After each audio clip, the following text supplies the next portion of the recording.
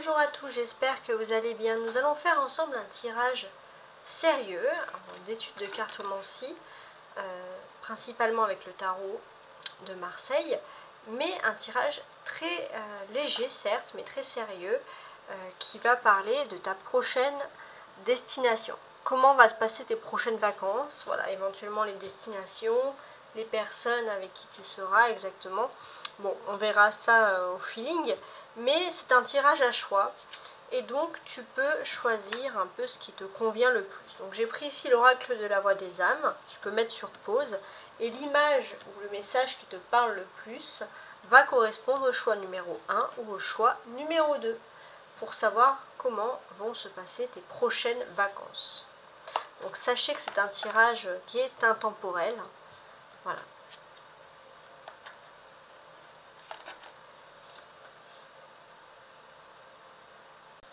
Et voici le choix numéro 1.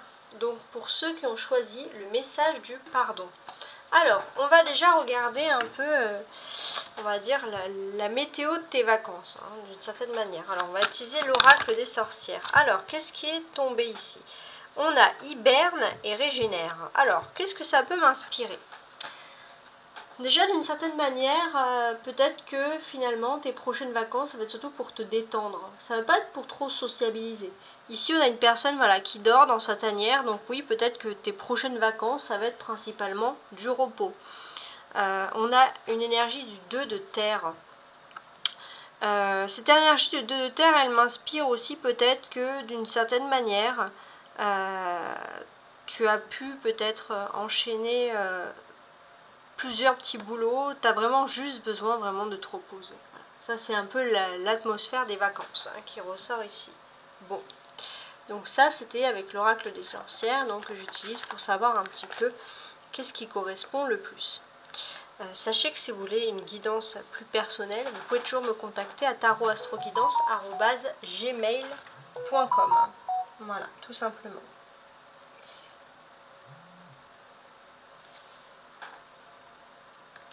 Alors maintenant, on va compléter ce message, tout simplement. Avec le tarot de Marseille. On va voir qu'est-ce qui va tomber ici. Alors, comment vont se passer les prochaines vacances?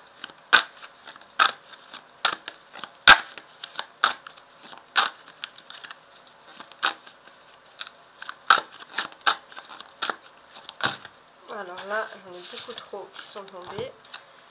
Ouais, plus que 5, je les garde pas. Comment vont se passer les prochaines vacances? Décidément. Alors là, j'en ai une qui s'est retournée. Alors là, quelle c'est? Et trois. Alors, je vais prendre celle qui s'est retournée en premier. Très bien, c'est les amoureux. Ok. Et les trois... Euh, ouais, non. Bon. Les autres sont trop énormes. Donc, il y en a beaucoup trop. Donc ici, c'est l'amoureux qui s'est retourné. Donc qu'est-ce qui se passe? Déjà, ça peut être que tu vas hiberner, tu vas régénérer, comme on le dit, entre amoureux. Moi, je pense qu'au moment où tu vois cette vidéo, il se peut que tu vas, voilà, pendant, on va dire, les, allez, euh, les trois prochaines semaines, tu vas vraiment mettre en place cette organisation de vacances. Ça, c'est quelque chose, voilà, qui ressort. Et c'est quelque chose de plutôt important. On peut aussi, supposer que tu vas... Euh, justement choisir euh, euh, de partir avec une personne de cœur, c'est un voyage un peu voilà sentimental. Il se peut aussi que pour tes prochaines vacances, tu euh, t'enlèves un peu des tiers et tu choisis vraiment la personne qui va partager ses vacances avec toi. En d'autres bec, on a notre ami la tempérance. Donc ça veut dire quoi cette tempérance comme ça située? Cette tempérance, elle veut tout simplement dire que euh, tu, as tu vas sûrement passer des vacances, donc ça c'est voilà. Euh, mais pour moi c'est quelque chose d'un peu original, c'est quelque chose qui te caractérise. Si par exemple tu partirais avec quelqu'un, ça serait vraiment dans le but de te faire plaisir. Alors on va rajouter euh, un, autre, un autre tarot de Marseille que j'aime beaucoup, tout à fait classique également classique même que celui-ci. Donc sur les amants, qu'est-ce que l'on peut rajouter? Donc les amants, les amoureux. Alors là, j'ai trois cartes qui se sont retournées. Ok. Donc en d'autres bec, j'ai le pape. Hein. Donc le pape, il est là pour m'indiquer euh, d'une certaine manière que euh, voilà, il y a quelque chose de très... Euh, les vacances, ça peut vouloir... Ça peut être aussi quelque chose de très traditionnel. Peut-être quelque chose que vous faites par habitude. Ou alors quelque chose voilà, que, vous, vous ne dites pas tout de suite. Bon. 9 de coupe. Soleil et 3 d'épée. Bon bah ça c'est intéressant. Déjà, il y a le soleil. Donc le soleil, c'est un éclaircissement de la situation. Donc là, ce que l'on peut voir, c'est que je pense que ça va pas être des grandes vacances. Ça va être peut-être, allez, maximum une semaine. Mais ça va vraiment être histoire de se régénérer. Mais ça va être quelque chose, en tout cas, d'officiel, d'acté euh, avec ce soleil. Hein. C'est clairement ici que les choses ressortent. On sent que pour ce travail, il y a peut-être, je euh, je sais pas moi, un changement de frontière, mais j'ai l'impression que ça va vraiment être un, ou un endroit un peu éloigné, mais un endroit où tu vas vraiment être en autarcie. Quelque chose euh, que tu vas être, tu vas plutôt être, on va dire, subjugué peut-être par la beauté du paysage, par exemple. Ouais, subjugué, puis bon, il y a vraiment cette notion aussi, ou peut-être que, je sais pas moi, il y aura la mer, il y aura ça va être un peu balnéaire, mais euh, il y a un côté euh, assez euh, balnéaire justement, et puis un côté assez sauvage, naturel, qui, plaît. Donc on a vraiment des belles choses ici voilà, qui, vont se faire.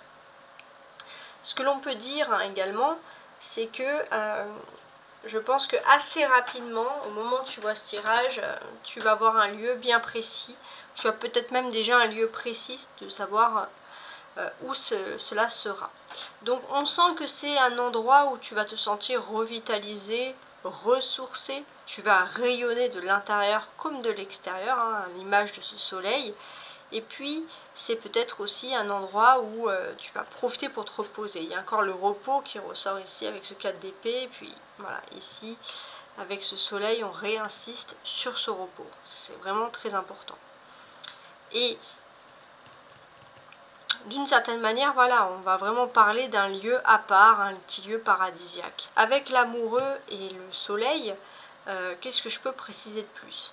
On est sur, euh, sur un moment très précis, en fait, c'est-à-dire que j'ai l'impression que pour l'instant, on part du principe qu'on a envie de s'unir avec une personne de cœur et on a surtout envie de se reposer, se ressourcer à deux. Et puis finalement, ça va être encore mieux que ce que vous aviez prévu. Donc voilà, on va pas en dire plus parce que voilà, le but c'est quand même d'avoir la surprise. Hein. Je vais pas vous mentir. Alors, on va rajouter ici donc un oracle des miroirs pour avoir un peu plus euh, de signification. Alors, sur le 9 de coupe,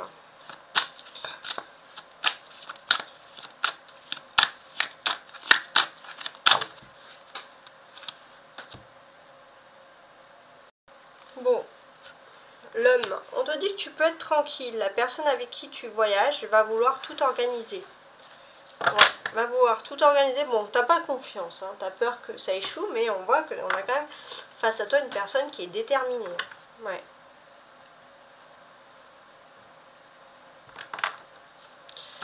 Il y a un, bel éclaircissement, bon soleil, donc déjà on va parler que ça peut être un pays euh, plutôt ensoleillé hein, d'une certaine manière, et on a la projection. Donc là, pour moi, c'est vraiment aussi un endroit romantique, un endroit où on peut rencontrer son âme sœur. Ouais, c'est quelque chose, euh, voilà, un peu un endroit de rêve, hein, tout simplement. Sur le 4 d'épée, ça va plutôt parler du repos ici, le 4 d'épée. J'ai la culpabilité. Eh ben oui, tu vas pouvoir te reposer, mais tu vas culpabiliser. Parce que... Euh, il y a la famille qui va dire gna gna gna gna gna gna, parce qu'il y a le travail qui va dire gna gna gna, mais on te dit de reposer parce que tu culpabilises trop. Et le pire, c'est je parlais de famille, de travail, mais là il y a l'amitié.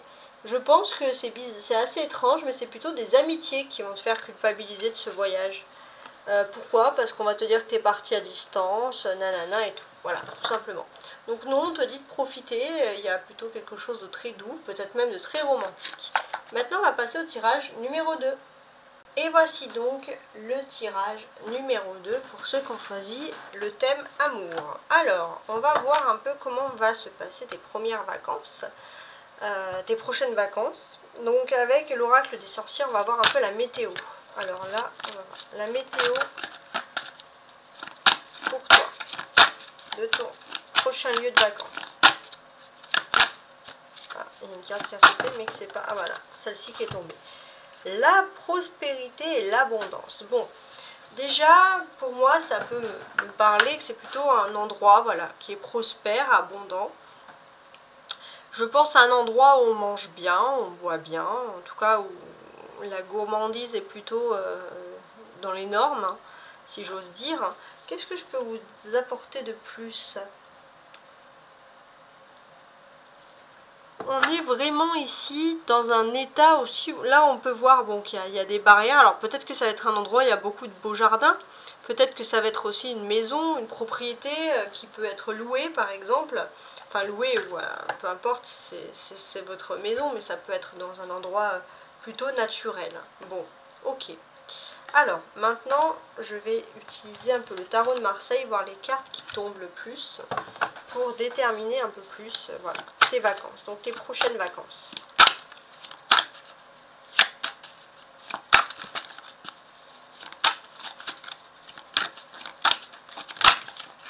Alors là, j'ai trois cartes qui sont tombées. Parfait.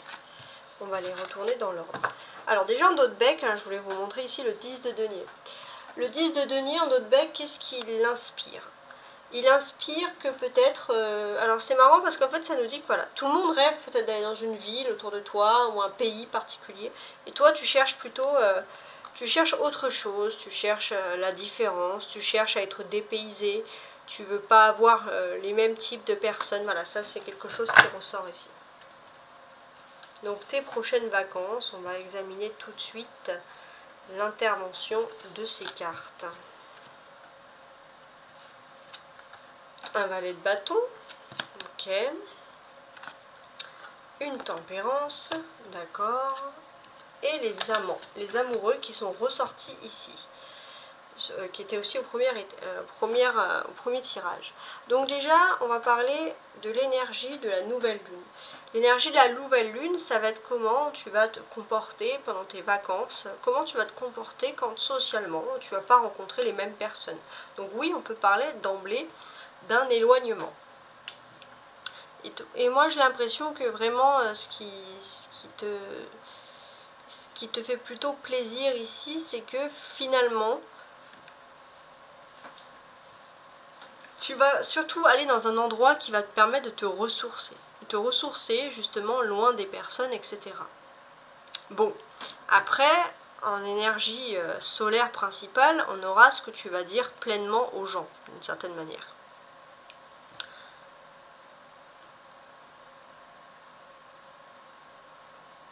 Donc on peut voir que ce sont des, vacances qui vont s'organiser là dans les trois prochaines semaines. Hein.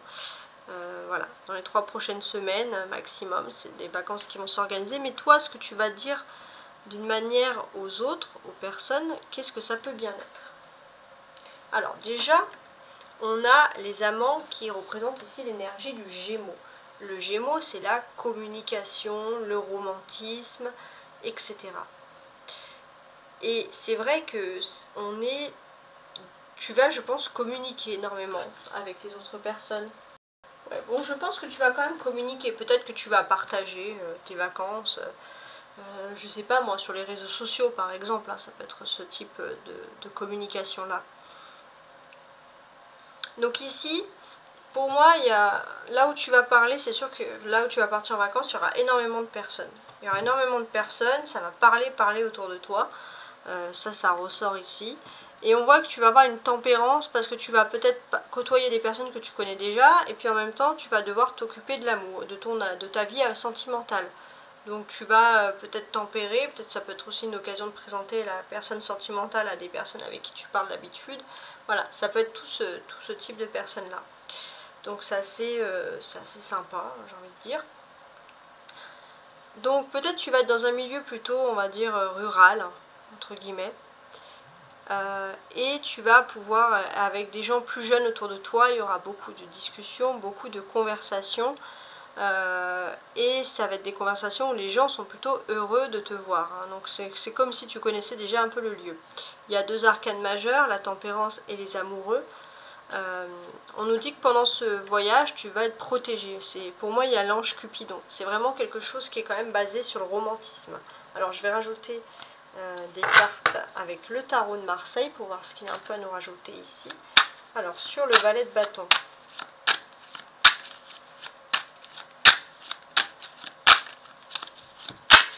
Sur le valet de bâton.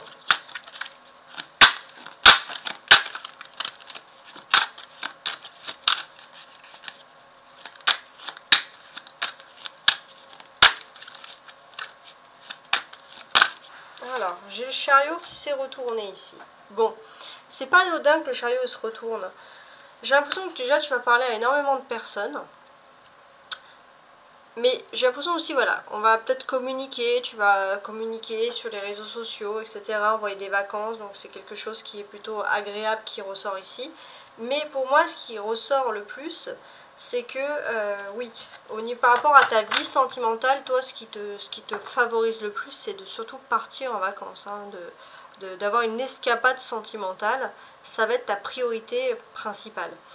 Euh, on sent qu'autour de toi, il y a beaucoup de personnes plutôt sympathiques euh, qui vont venir te parler pendant le voyage. il y a une ouverture, donc bon, bah, on, on, sent que tu vas être dans un endroit quand même où les gens sont plutôt ouverts d'esprit, donc ça, ça fait plaisir. On a ici euh, le 6 de denier. Donc euh, ça va être des personnes, je pense, très charitables, proprement dit. Hein. Donc euh, voilà, ça c'est ce qui ressort ici. voilà, il se peut qu'il y ait beaucoup de personnes autour de toi plus jeunes, des garçons, peut-être entre la vingtaine et la trentaine, qui voyagent, en tout cas, bon, bah, que tu peux croiser pendant ce voyage. Ça c'est vraiment une indication, j'ai envie de dire, supplémentaire. Et puis bon, bah il y a cette notion de chariot, il y a cette notion de voyage quand même sur le lointain. Avec la tempérance.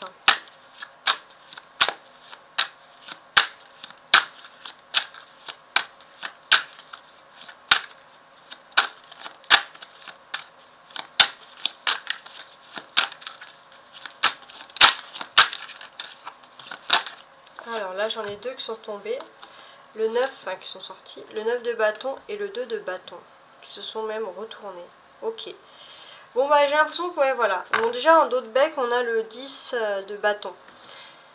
Donc il peut nous évoquer euh, le fait qu'il y aura une amélioration. Donc pour toi déjà il y aura une amélioration de ton état de santé. On voit que tu es, un petit peu euh, submergé par le travail et que tu as surtout besoin de te retrouver avec toi-même. Tu as besoin de te, de te reposer. Alors on sent aussi que tu vas vouloir quand même faire plein de choses pendant ces vacances. Donc d'un côté tu as ton emploi du temps. Hein, et puis de l'autre côté, euh, tu dois trouver aussi un accord avec l'autre personne. Tu dois vouloir concilier plein de choses. Donc à mon avis, tu auras beaucoup de choses à faire pendant ce, travail-là. Alors, on va regarder maintenant avec les amoureux. Qu'est-ce qu'on a de plus Ah oui, je voulais aussi revenir sur ça. On a deux bâtons ici, donc c'est vrai que ça va être euh, un travail qui va être extrêmement lié à l'activité de manière générale. Et avec la tempérance, on voit que bon, euh, tu vas essayer de te tempérer euh, pour essayer d'avoir des activités euh, qui te fatiguent pas. Mais c'est vrai que tu es une personne, on le sent ici, qui peut pas rester, on va dire, à rien faire. et ça va être un peu difficile. Peut-être qu'on va te dire, ou toi, tu vas vouloir te forcer vraiment à te reposer, mais tu n'es pas le type de personne qui se repose. Peut-être pour certains, il y aura une demande en mariage, hein, par exemple. Hein. Ça, c'est vraiment le côté romantique hein, qui ressort ici.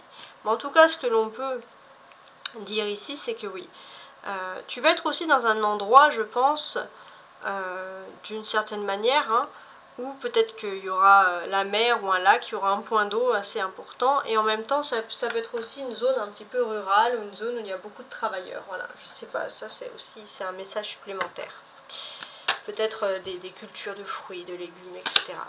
Alors, avec les amants maintenant, qu'est-ce que l'on a ici à rajouter? Donc là, ça va être plutôt euh, quelque chose en couple.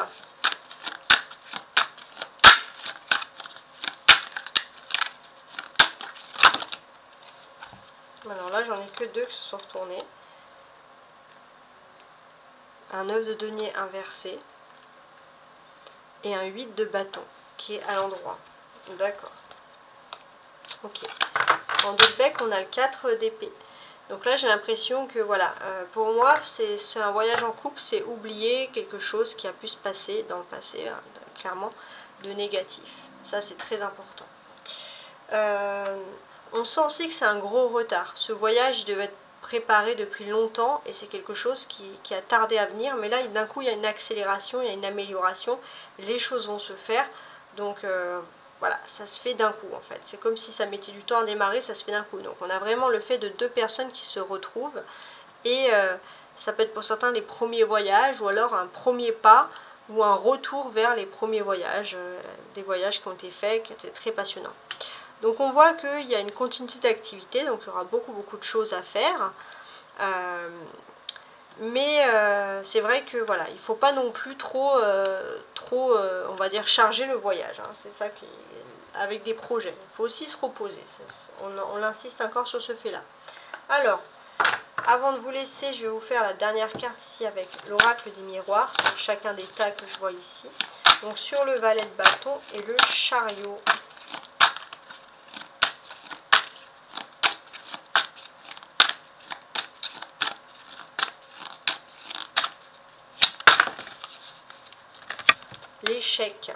Bon, Déjà, ça peut vouloir me dire, dans, un certain sens, qu'il y aura peut-être des personnes plus jeunes que toi de signe de feu, avec qui tu vas énormément parler, et puis aussi des personnes du signe du cancer. Sinon, ce que l'on peut nous dire ici, ça, ça va être très important, ça va être que euh, finalement, il y a peut-être, tu vas peut-être rendre visite aussi à des, personnes que tu connais déjà. Euh, des personnes que tu connais déjà dans ton entourage, ça peut être des personnes de ta famille ou en tout cas l'entourage proche. Et il y a un échec, pourquoi? Parce qu'il y a une ouverture peut-être que d'une certaine manière, euh, bah, tu vas peut-être euh, être un petit peu déçu parce qu'il y a des personnes qui vont pas être présentes, ou voilà, quelque chose comme ça. Bon, c'est pas non plus dramatique. la tempérance, le 9 de bâton et le 2 de bâton.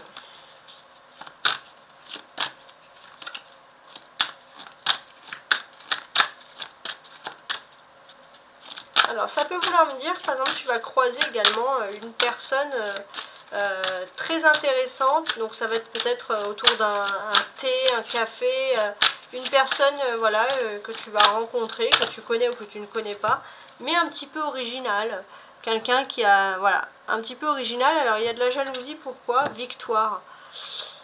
Alors j'ai l'impression que c'est plutôt toi la personne originale. Hein. J'ai l'impression que voilà, toi tu vas pas, tu vas prendre du, temps, tu vas, tu vas quand même prendre du temps pour rencontrer certaines personnes, pour boire un café, tout ça. Et c'est vrai que bah, tu auras de la jalousie parce que d'une certaine manière, euh, ça va être pour toi une victoire, ce voyage. Euh, voilà. Donc pendant que toi, tu vas être en train de faire tes petites emplettes, il y a des personnes qui vont te jalouser. Ok. Sur les amoureux, le 9 de denier inversé et le 6 de... le 8 de bâton, pardon. On a la tranquillité. Alors, qu'est-ce que ça peut vouloir dire? Bah déjà, on a deux amoureux ensemble, hein, pour moi, qui vont voyager. Ça, c'est vraiment le fait euh, important. Il y a deux personnes qui vont voyager, qui ont passé un moment très très dur dans le passé et qui vont enfin pouvoir se retrouver par le biais de ce voyage. Et ce qui est bien, c'est qu'il y a une passion qui va les, les, ranimer ensemble. Il y a une passion commune et on voit que ça va, il y a des choses qui vont se passer en toute tranquillité. Euh, beaucoup de paroles, beaucoup de dialogues, beaucoup de discussions qui font plaisir. Donc pour moi, ça c'est un peu passé, présent, futur. Donc si dans le passé il y avait un échec, il y a eu un, il y a eu un renoncement, un voyage qui s'est pas fait. Actuellement, le voyage peut se faire, mais il faut euh, éliminer entre guillemets une tierce personne. On sent que voilà, après il y aura la tranquillité ce voyage pourra se faire sous de bons auspices. Merci beaucoup, ça a été un plaisir pour moi de vous avoir fait ce tirage. Au revoir.